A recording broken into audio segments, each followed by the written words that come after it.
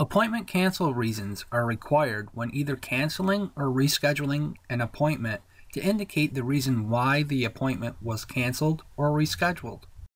To add an appointment cancel reason code, click Administration, then Code Tables, and then Codes.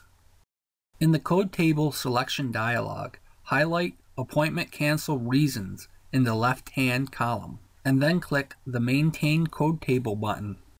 In the next dialog, click the New button, and then in the Code Value field, enter the in-house code for the appointment cancel reason you are adding. You can then enter a description for the appointment cancel reason you are adding in the description field, and then click the Add to List button. You can repeat this process for any other appointment cancel reasons you wish to add. To edit an appointment cancel reason, Highlight the appointment cancel reason you want to edit, and then click the Edit button.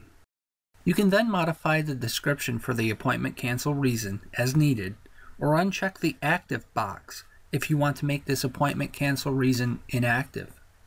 When finished making modifications, click the Add to List button.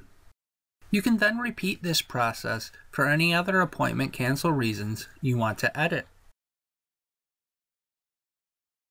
To delete an appointment cancel reason, highlight the appointment cancel reason you want to delete, and then click the Delete button.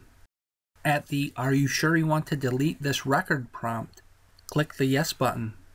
You can then repeat this process for any other appointment cancel reasons you want to delete.